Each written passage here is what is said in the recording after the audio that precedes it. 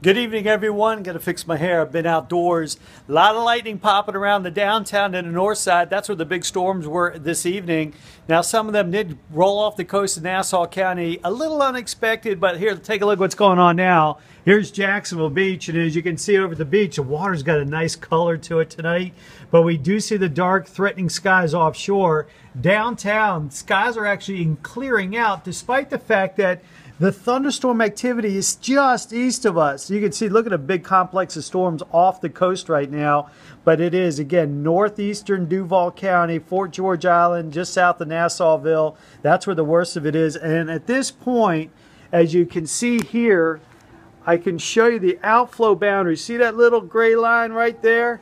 There could still be a thunder shower to pop off of that, but we'll think that at this point, the bulk of this will just reach out towards Mayport, maybe Atlantic Beach. And these showers down south near uh, Ponte Vedra and Palm Valley, they too are moving off the coast. That's actually close to Vilano. So hit and miss, but it was another easy night in terms of seeing the thunderstorms crank up along 95. We'll talk about the impact and potential for another night like tonight, tomorrow night. We'll do that tonight at 10.